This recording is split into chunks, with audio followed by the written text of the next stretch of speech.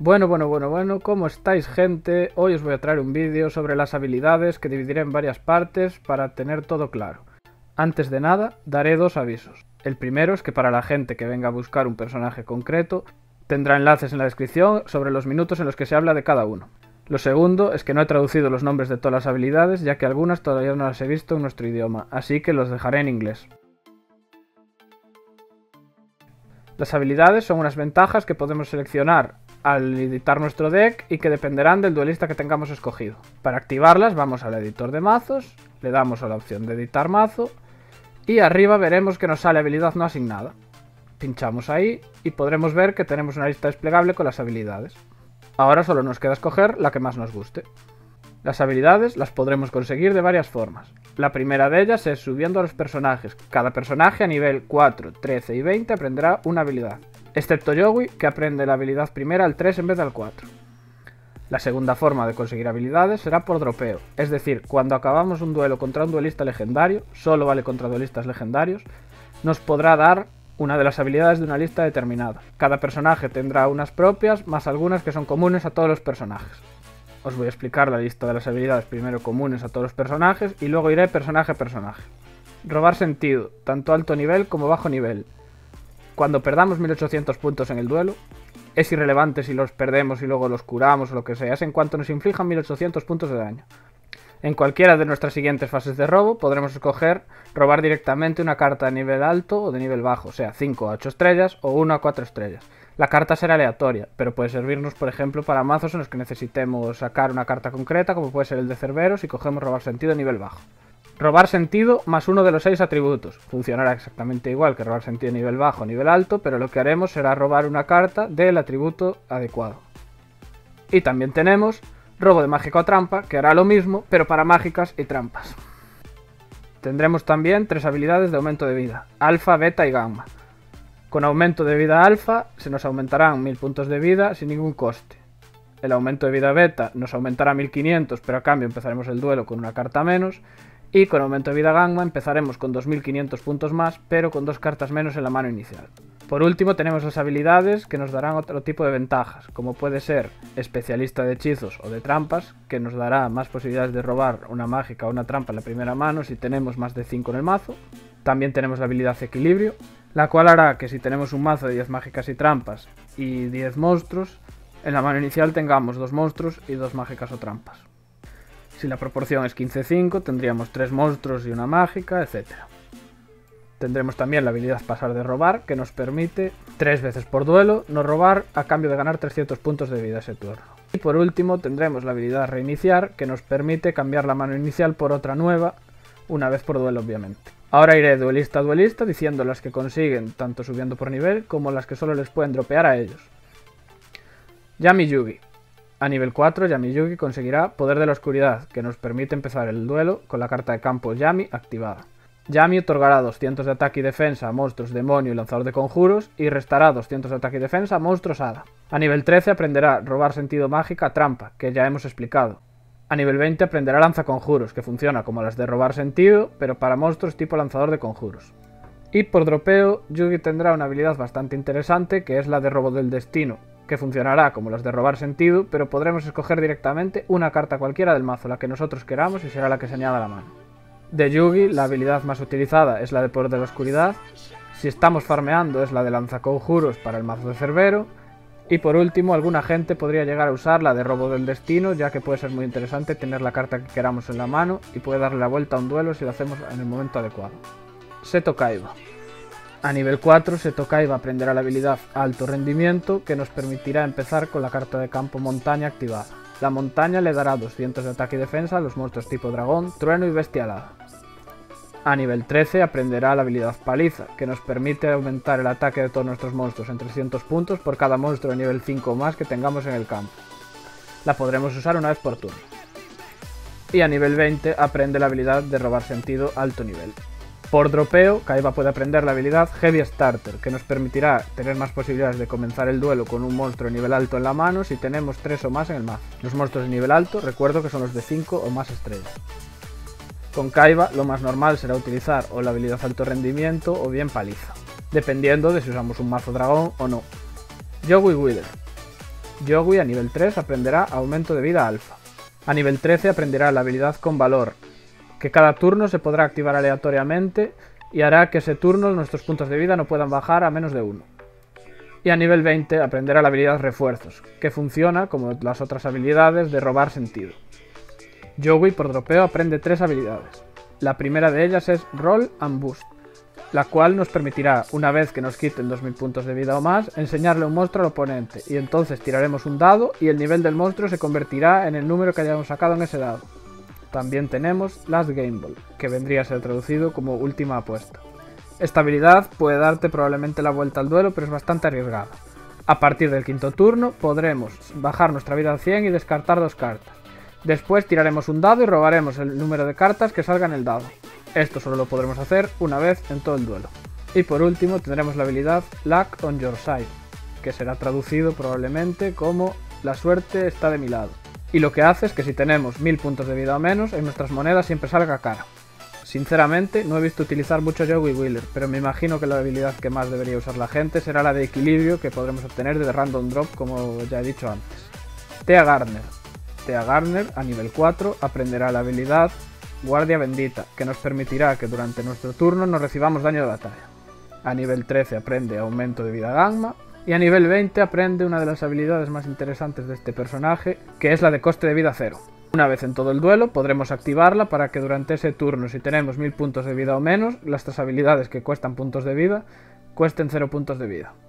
Se podría hacer un mazo específico con cartas como el Cyberstain y utilizarlas bien, pero puede ser bastante arriesgado dado que la gente puede tener cosas como el Curibo en la mano, así, para protegerse y entonces quedaremos completamente expuestos. Por dropeo puede aprender Regalo Sorpresa, que nos permite colocar una carta mágica o trampa en el campo del oponente, pero solo la podremos ver nosotros. He de decir que jamás he visto a ninguna TEA usar esta habilidad, así que no tengo muy claro cómo funciona. No sé si se refiere a que la coloca ahí y le ocupa un hueco y por lo tanto el oponente tiene un hueco menos para colocar cartas, o bien que la puede activar pero sin saber lo que hace a voleo. No lo tengo muy claro. Por último tenemos la habilidad Duel Standby, que permitirá a cada jugador empezar en la mano inicial con una carta extra. De momento solo le he encontrado una utilidad para un mazo que subiré en algún momento, con el que podemos ganar en el primer turno, pero también podemos obviamente tener una muela muy mala y perder el duelo casi instantáneamente, porque se basa en daño de efecto. Si nos salen las cartas de efecto más poderosas del mazo, podremos eliminar fácilmente al oponente haciéndole 4000 de daño de efecto sin que el oponente ni siquiera pueda empezar su turno. Por diversión puede estar bien, pero no creo que sirva para nada en competitivo. Con Tea Garner, algunos mazos podrían utilizar la de Guardia Bendita, pero la mayoría de mazos supongo que también optarán por intentar conseguir la habilidad de equilibrio o de reiniciar. Mai Valentine. Mai a nivel 4 aprenderá Estrategia de Arobru, con la que podremos ver siempre la carta que vamos a robar en nuestro siguiente turno. A nivel 13 aprenderá Aumento de vida beta y a nivel 20 aprenderá a robar Sentido Viento. Por dropeo conseguirá varias habilidades. La primera de ellas será la última voluntad de las arpías, que nos permitirá añadir el plumero de la arpía a nuestra mano retirando 6 monstruos de arpía del cementerio. Para principiantes y para gente que no lo conozca, el primero de arpía es una carta mágica que al activarla nos permitirá destruir todas las cartas mágicas y trampa del oponente.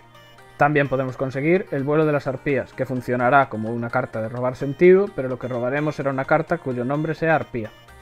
Y ya por último nos quedará el terreno de caza de las arpías, que hará que el duelo empiece con la carta mágica terreno de caza de las arpías activada. Esta carta tiene dos efectos. El primero de ellos es que aumentará el ataque y defensa de los monstruos tipo bestialada en 200 puntos, y el segundo es que cada vez que invoquemos un monstruo con el nombre arpía, nos obligará a destruir una mágica trampa del campo. Recalco el hecho de que nos obligará, es decir, si el oponente no las tiene tendremos que destruir una de las nuestras. Con Mai precisamente será esta última habilidad la que utilicemos, ya que irónicamente acaba de entrar en el meta con mucha fuerza y es el deck más anti-meta que existe. Con este deck será muy fácil hacer counter a los decks de dinosaurios, de Umi y de Poder de la Oscuridad. El único deck no counterado por este es el de Cuidadores de Tumbas, al menos actualmente, cuando salga Necrovale y veremos. Weevil Underwood o Insector Haga. También conocido como el gusano, es uno de los personajes con el que podremos realizar posiblemente los decks con más estrategia de todo Duel Links. A nivel 4 conseguirá la habilidad Revuelta de Insectos, que nos permitirá una vez por turno si tenemos 3 insectos en el campo, aumentar el ataque de todos nuestros monstruos en 800 puntos. A nivel 13 aprenderá la habilidad Robar Sentido a nivel bajo, y a nivel 20 aprenderá la habilidad Infestación de Parásitos, con la que podremos crear el deck alrededor de esto, y que es bastante efectivo. Con esta habilidad lo que haremos será Al comenzar el duelo se barajará un número aleatorio de parásitos paracida de nuestro deck en el deck del oponente. El parásito paracida es un monstruo de efecto tipo insecto que lo que hace es, si el oponente lo saca de su mazo, le infligirá mil puntos de vida y le invocará el campo en defensa boca arriba. Además de convertir a todos sus monstruos en insectos. En el juego de TCG oficial hay muchas cartas que interactúan con esto. Aquí no, pero actualmente está muy bien dado que 1000 LP es muchísimo teniendo en cuenta que empezamos con 4000. Por dropeo conseguirá la habilidad Bass On, que hará como otro tipo de barajas, funcionará como un robar sentido, pero para monstruos tipo insecto. Y por último aprenderá la habilidad Moth to the Flame, que nos permitirá que los turnos cuenten doble para el efecto de pequeña polilla equipada con el capullo de la evolución. Como he dicho antes, con Weevil la habilidad que más se utiliza es la de infestación de parásitos. Rex Raptor. A nivel 4, Rex aprenderá Reino Dinosaurio, que nos permitirá empezar con la carta Mundo Jurásico activada en el campo. Es una carta de campo que nos dará 300 de ataque y defensa a todos los monstruos tipo dinosaurio. A nivel 13 aprenderá a robar sentido alto nivel y a nivel 20 aprenderá Destrucción Dinosáurica, que nos permitirá que si tenemos un dinosaurio de nivel 6 o más en el campo, podamos infligir daño a los monstruos que están en defensa del oponente una vez por turno. Por dropeo podremos conseguir tres habilidades. La primera de ellas, Titan Showdown, provocará que si un jugador tiene el doble de vida que otro, también reciba el doble de daño. Mucha gente con una estrategia definida está optando por esta habilidad, pero es bastante arriesgada. También tenemos Dinos Find a Way, que sería como robar sentido de dinosaurio, básicamente. También tenemos Dino Rampage, que nos permitirá, cuando perdamos 1800 puntos de vida, activar una habilidad que hará que uno de nuestros dinosaurios ataque dos veces ese turno. Está limitado una vez por turno y el tipo de carta del dinosaurio tiene que ser normal. Bueno, con Res Raptor obviamente, a la que hayáis jugado 5 o 6 partidas en el PvP, comprenderéis que la que más se usa es Reino Dinosaurio. Mako Tsunami. Mako, como buen especialista en monstruos agua, aprenderá a nivel 4 la habilidad Profundidades Míticas, que nos permitirá empezar el duelo con un Umi activado. Umi es una carta mágica de campo que le dará 200 de ataque y defensa a los monstruos tipo pez y serpiente marina y le restará 200 de ataque y defensa a los monstruos tipo máquina. A nivel 13 tendremos robar sentido agua y a nivel 20 la habilidad equilibrio. Por dropeo conseguirá amenaza de las profundidades. Si tenemos un en el campo, podremos hacer que un monstruo tipo normal y agua en nuestro campo ataque directamente a los life points del oponente una vez por turno. Si decidimos hacer esto, el monstruo que ataca a los life points del oponente será destruido al final de ese turno. Con Mako, la habilidad que más utilizaremos será la de profundidades míticas para mazos de Umi, pero hay gente que decide utilizar una variante que utiliza equilibrio. En el caso de que decidamos hacer un deck no estándar con Mako, lo más lógico sería utilizar equilibrio, o bien reiniciar si lo conseguimos. Bandit Kid con Bandit Kid a nivel 4 aprenderemos la habilidad Cambios, que nos permitirá meter una carta a nuestra mano en el deck, barajar el deck y robar carta. A nivel 13 aprenderemos Prestidigitación, que nos permitirá, si nuestros puntos de vida bajan 1500 o más, nos permitirá añadir a nuestra mano una carta 7 completo. La carta 7 completo lo que hace es aumentar el ataque del monstruo tipo máquina equipado con ella en 700 y también su defensa. Límite de usos dos veces por duelo. A nivel 20 aprenderá la habilidad Reiniciar, por dropeo conseguirá tres habilidades. Baggy Sleeps, que hará que robemos dos cartas en vez de una si nuestro monstruo de nivel 5 superior ha sido destruido en batalla el turno anterior. También tenemos Moneda Trucada, que hará que si tenemos 1000 puntos más que nuestro oponente al menos y 5 cartas en la mano, en nuestras monedas siempre salga cara. Y por último tenemos la habilidad Bandido. Si tenemos 1500 de vida o menos, podremos tomar el control de una de las cartas colocadas en la zona de magias y trampa del oponente. Límite una vez por duelo. Con Bandit Kid las habilidades más de moda son cambios o reiniciar. Odion. Odion a nivel 4 aprenderá la habilidad reacción en cadena. Esta habilidad provocará que cada vez que utilicemos una carta de trampa, le inflijamos automáticamente 200 puntos de daño a nuestro oponente. A nivel 13 aprenderá a robar sentido mágica trampa. A nivel 20 aprenderá infierno de trampas. Cuando nuestras tres trampas en el campo sean destruidas, podremos añadir desde nuestro cementerio a nuestro deck una trampa aleatoria y barajaremos el mazo. Por dropeo conseguiremos Bluff Trap, que nos permitirá que nos permitirá colocar en el campo la carta trampa estatuilla de la debilidad cuando perdemos 1200 puntos o más de vida. Cuando la estatuilla es enviada al cementerio desde el campo, invocará un token o ficha de monstruo de 1000 de ataque, 1000 de defensa, de tipo demonio y atributo oscuridad. Con Odion la gente suele utilizar la de reacción en cadena. Y Shizu Vistar. La hermana de Marik aprenderá a nivel 4 pasar de robar.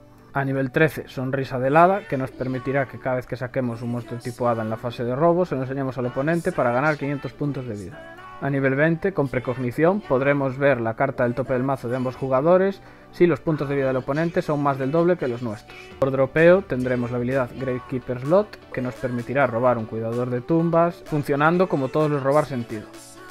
También aprenderá la habilidad No Mortal Can Resist, la cual nos permitirá convertir a todos los monstruos del cementerio del oponente en sirvientes de calavera, que son monstruos de 300 de ataque, 200 de defensa, tipo demonio y atributo oscuridad siempre y cuando vayamos perdiendo el duelo y la diferencia en puntos de vida sea superior a 1000. En el TCG original hay muchas cartas que interactúan con los sirvientes de calavera, así que posiblemente sea más interesante en el futuro. De momento puede servir para cuando nuestro rival intenta revivir alguno de sus monstruos o algo similar. Y por último tenemos la habilidad Tumbas Selladas, que provocará que ningún jugador pueda invocar monstruos de forma especial desde el cementerio hasta la fase del próximo turno del oponente. Solo se puede usar una vez en todo el duelo. Las habilidades de Ishizu en el meta actualmente no son muy utilizadas, así que si queremos utilizarla podemos optar por equilibrio o por reiniciar. Ya por último tenemos a Pegasus. Con Pegasus a nivel 4 aprenderemos aumento de vida alfa. A nivel 13 aprenderemos escaneo mental, una habilidad muy interesante. Mientras tengamos 3000 puntos de vida o más, nos permitirá ver las cartas colocadas del oponente. Nos puede dar una gran ventaja en los duelos si conseguimos mantener nuestros puntos de vida altos. Y a nivel 20 aprenderá maestros rituales, que es como un robar sentido, pero lo que robaremos será un monstruo ritual o su carta mágica. Por dropeo aprenderá tres habilidades. La primera de ellas, It's a Toon World, que nos permitirá empezar en el campo con la carta mágica continua Mundo Toon. El Mundo Toon es una carta mágica continua que interactúa con los monstruos de tipo Toon. La siguiente habilidad, Creador, en mi opinión hasta se merecería un vídeo aparte, pero bueno, ya que este vídeo es tan largo, acabaré de explicarlo que me llevará dos o tres minutos. Cuando nuestros puntos de vida bajen de 2000, podremos en nuestra fase de robo, en vez de realizar un robo normal, añadir a nuestra mano de manera aleatoria una de las siguientes 5 cartas. Escudo mágico de brazo, la única que existe actualmente en el juego y que es una trampa que nos permite, si tenemos un monstruo en el campo, cuando nuestro rival ataque con su monstruo, seleccionar como objetivo otro de los monstruos que el rival tenga también en el campo, y que esté boca arriba. Recibiremos nosotros el daño de batalla, si la queremos conseguir en el juego, actualmente se encuentra en el sobre Ultimate Rising. La segunda carta es Breaker el guerrero mágico, muy conocida entre los jugadores del TCG original. Cuando invocamos a Breaker de manera normal, le pondremos un contador. Breaker ganará 300 de ataque por cada contador que tenga, con lo cual pasará a ser un temible monstruo de 1900 de ataque con 4 estrellas. El límite de contadores que puede tener es 1. Pero la parte importante de Breaker viene ahora, y es que gastando ese contador podremos destruir una mágica o trampa en el campo. Defender el guerrero mágico. Es un lanzador de conjuros que tiene 2000 de defensa y 1600 de ataque. Aparte de estos nada despreciables stats, tiene un efecto que es que cuando lo invocamos de modo normal, le pondremos un contador. Y cada vez que uno de nuestros monstruos tipo lanzador de conjuros fuera destruido, podríamos sacrificar ese contador en vez del monstruo. La cuarta carta será la Bruja Oscura de una mes, que es un monstruo de 1800 de ataque con 4 estrellas de tipo Hada. Teóricamente será la carta insignia del nuevo sobre que va a salir, que se llamará Valkyrie's Rage. Aunque de momento solo sean rumores, también se ha filtrado la portada del sobre que dejo aquí para que la veáis. Y la quinta carta será el plumero de la arpía, de la que ya hablé y que como recordaréis es una mágica que destruye todas las cartas trampa y mágicas del oponente. Hasta aquí la habilidad creador, y solo nos queda una última de Pegasus. La habilidad en cuestión se llama Extra Extra y nos permite, al robar carta, si, si hemos perdido 2000 puntos de vida o más, robar una copia de la carta que robemos. Es decir, robaremos dos cartas exactamente iguales. Pegasus es probablemente uno de los duelistas más versátiles, y hay cuatro habilidades que la gente utiliza bastante. Por un lado tenemos lectura mental, que funciona bien en casi cualquier tipo de mazo. It's a Toon World, que funciona en los mazos obviamente centrados en monstruos Toon. El maestro de rituales para mazo de renunciado. Y creador, que funciona bastante bien también en cualquier tipo de mazos. Antes de despedirme, recordaros que las habilidades más interesantes que son de dropeo común son reiniciar y equilibrio. Así que si queremos utilizar una habilidad estándar o, queremos utilizar un duelista que no tenga una habilidad decente para el mazo que queremos hacer, podremos optar por una de estas dos. En mi opinión, la elección depende bastante del tipo de mazo. Si tenemos un mazo que se basa bastante en tener una mano inicial decente, obviamente optaremos por reiniciar. Mientras que si tenemos un mazo en el que necesitamos que la mano inicial más o menos contenga una representación de lo que es el mazo, optaremos por equilibrio. Para los que llegáis hasta aquí, que no seréis muchos, muchas gracias por ver el vídeo hasta el final Ya sabéis lo de siempre, podéis dejar like, suscribiros si queréis y os traeremos más guías como esta, aunque esperemos que sea un poco menos densa que esta. Es un tema bastante interesante y he querido realizar una guía tanto para iniciados como para expertos en el juego. Os animo como siempre a dejar vuestra opinión en comentarios. Y hasta aquí la guía, duelistas. Nos vemos en el próximo.